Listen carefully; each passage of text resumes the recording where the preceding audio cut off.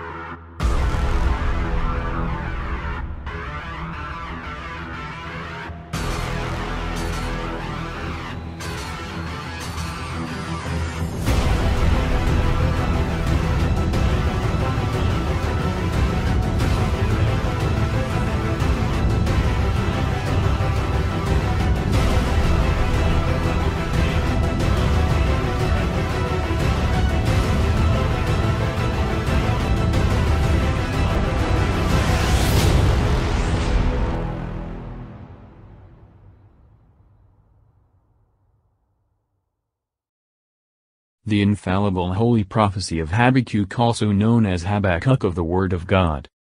The prophet complains of the wickedness of the people, God reveals to him the vengeance he is going to take of them by the Chaldeans. The burden that Habakkuk the prophet saw. How long, O Lord, shall I cry, and thou wilt not hear? Shall I cry out to thee suffering violence, and thou wilt not save?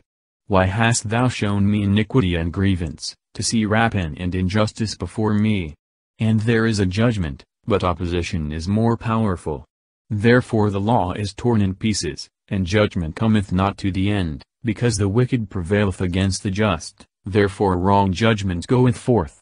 Behold ye among the nations, and see, wonder, and be astonished, for a work is done in your days, which no man will believe when it shall be told. Burden, such prophecies more especially are called burdens, as threaten grievous evils and punishments. For behold, I will raise up the Chaldeans, a bitter and swift nation, marching upon the breadth of the earth, to possess the dwelling places that are not their own. They are dreadful, and terrible, from themselves shall their judgment, and their burden proceed. Their horses are lighter than leopards, and swifter than evening wolves, and their horsemen shall be spread abroad, for their horsemen shall come from afar, they shall fly as an eagle that maketh haste to eat. They shall all come to the prey, their faces like a burning wind, and they shall gather together captives as the sand. And their prince shall triumph over kings, and princes shall be his laughingstock, and he shall laugh at every stronghold, and shall cast up a mount, and shall take it. Then shall his spirit be changed, and he shall pass, and fall, this is his strength of his God. Wast thou not from the beginning, O Lord my God, my Holy One, and we shall not die?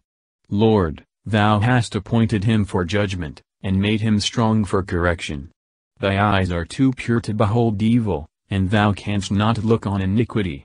Why lookest thou upon them that do unjust things, and holdest thy peace when the wicked devoureth the man that is more just than himself? And thou wilt make men as the fishes of the sea, and as the creeping things that have no ruler. He lifted up all them with his hook, he drew them in his drag, and gathered them into his net, for this he will be glad and rejoice. Then shall his spirit, viz., the spirit of the king of Babylon. It alludes to the judgment of God upon Nebuchadnezzar, recorded then, and to the speedy fall of the Chaldean Empire. Therefore will he offer victims to his drag, and he will sacrifice to his net, because through them his portion is made fat, and his meat dainty. For this cause therefore he spreadeth his net, and will not spare continually to slay the nations. The prophet is admonished to wait with faith. The enemies of God's people shall assuredly be punished. I will stand upon my watch, and fix my foot upon the tower, and I will watch, to see what will be said to me, and what I may answer to him that reproveth me. And the Lord answered me, and said, Write the vision, and make it plain upon tables, that he that readeth it may run over it. For as yet the vision is far off, and it shall appear at the end, and shall not lie. If it make any delay, wait for it, for it shall surely come, and it shall not be slack. Behold, he that is unbelieving, his soul shall not be right in himself, but the just shall live in his faith. And as wine deceiveth him that drinketh it, so shall the proud man be, and he shall not be honored, who hath enlarged his desire like hell, and is himself like death, and he is never satisfied, but will gather together unto him all nations, and heap together unto him all people will stand, waiting to see what the Lord will answer to my complaint, viz., that the Chaldeans, who are worse than the Jews, and who attribute all their success to their own strength, or to their idols, should nevertheless prevail over the people of the Lord. The Lord's answer is, that the prophet must wait with patience and faith, that all should be set right in due time, and the enemies of God and his people punished according to their deserts. As wine deceiveth, viz., by affording only a short passing pleasure, followed by the evils and disgrace that are the usual consequences of drunkenness, so shall it be with the proud enemies of the people of God, whose success affordeth them only a momentary pleasure, followed by innumerable and everlasting evils. Shall not all these take up a parable against him, and a dark speech concerning him, and it shall be said, Woe to him that heapeth together that which is not his own? How long also doth he load himself with thick clay? Shall they not rise up suddenly that shall bite thee, and they be stirred up that shall tear thee, and thou shalt be a spoil to them? Because thou hast spoiled many nations, all that shall be left of the people shall spoil thee, because of men's blood, and for the iniquity of the land, of the city, and of all that dwell therein. Woe to him that gathereth together an evil covetousness to his house, that his nest may be on high, and thinketh he may be delivered out of the hand of evil. Thou hast devised confusion to thy house, thou hast cut off many people, and thy soul hath sinned. Thick clay, ill-gotten goods, that, like mire, both burden and defile the soul. For the stone shall cry out of the wall, and the timber that is between the joints of the building, shall answer. Woe to him that buildeth a town with blood, and prepareth a city by iniquity. Are not these things from the Lord of hosts? For the people shall labor in a great fire, and the nations in vain, and they shall faint. For the earth shall be filled, that men may know the glory of the Lord, as waters covering the sea. Woe to him that giveth drink to his friend, and presenteth his gall, and maketh him drunk, that he may behold his nakedness. Are not these things, that is, shall not these punishments that are here recorded, come from the Lord upon him that is guilty of such crimes? Ibid. The people shall labor, viz., the enemies of God's people. Thou art filled with shame instead of glory, drink thou also, and fall fast asleep, the cup of the right hand of the Lord shall compass thee, and shameful vomiting shall be on thy glory. For the iniquity of Libanus shall cover thee, and the ravaging of beasts shall terrify them because of the blood of men, and the iniquity of the land, and of the city, and of all that dwell therein. What doth the graven thing avail, because the maker thereof hath graven it, a molten, and a false image? Because the forger thereof hath trusted in a thing of his own forging, to make dumb idols? Woe to him that saith to wood, Awake, to the dumb stone, Arise, can it teach? Behold, it is laid over with gold, and silver, and there is no spirit in the bowels thereof. But the Lord is in his holy temple, let all the earth keep silence before him. The iniquity of Libanus, that is, the iniquity committed by the Chaldeans against the temple of God, signified here by the name of Libanus. A prayer of Habakkuk the prophet for ignorances. O Lord, I have heard thy hearing, and was afraid. O Lord, thy work, in the midst of the years bring it to life, in the midst of the years thou shalt make it known, when thou art angry, thou wilt remember mercy. God will come from the south, and the Holy One from Mount Paran, his glory covered the heavens, and the earth is full of his praise. His brightness shall be as the light, horns are in his hands, there is his strength hid, death shall go before his face and the devil shall go forth before his feet. For ignorances, that is, for the sins of his people. In the Hebrew, it is Sigionoth, which some take to signify a musical instrument, or tune, with which this sublime prayer and canticle was to be sung. Thy hearing, that is, thy oracles, the great and wonderful things thou hast revealed to me, and I was struck with a reverential fear and awe. Tibid. Thy work, the great work of the redemption of man, which thou wilt bring to life and light in the midst of the years, when our calamities and miseries shall be at their height.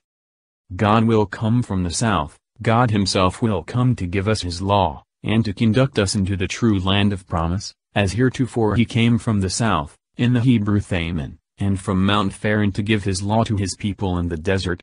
See C. Horns, that is, strength and power, which, by a Hebrew phrase, are called horns, or beams of light, which come forth from his hands. Or it may allude to the cross, in the horns of which the hands of Christ were fastened, where his strength was hidden, by which he overcame the world, and drove out death and the devil. Death shall go before his face, both death and the devil shall be the executioners of his justice against his enemies, as they were heretofore against the Egyptians and Canaanites. He stood and measured the earth. He beheld, and melted the nations, and the ancient mountains were crushed to pieces. The hills of the world were bowed down by the journeys of his eternity. I saw the tents of Ethiopia for their iniquity, the curtains of the land of Madian shall be troubled. Wast thou angry, O Lord, with the rivers? Or was thy wrath upon the rivers? Or thy indignation in the sea? Who will ride upon thy horses, and thy chariots are salvation. Thou wilt surely take up thy bow, according to the oaths which thou hast spoken to the tribes, Thou wilt divide the rivers of the earth. The mountains saw thee, and were grieved, the great body of waters passed away. The deep put forth its voice, the deep lifted up its hands. He beheld, one look of his eye is enough to melt all the nations, and to reduce them to nothing. For all heaven and earth disappear when they come before his light. Epoch. Ibid. The ancient mountains, by the mountains and hills are signified the great ones of the world, that persecute the Church, whose power was quickly crushed by the Almighty. Ethiopia, the land of the blacks, and Madian, are here taken for the enemies of God and his people, who shall perish for their iniquity.